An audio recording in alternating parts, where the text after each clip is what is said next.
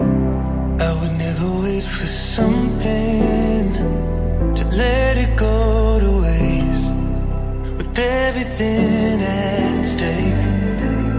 Mm, I thought I would take it all back. I just wanna make this thing last, but we're running out of.